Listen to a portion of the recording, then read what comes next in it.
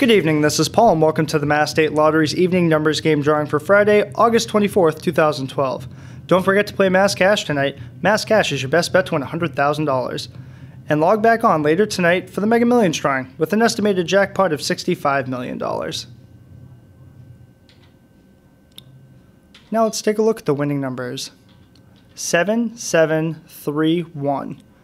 Once again, the winning evening numbers for Friday, August 24th are 7731.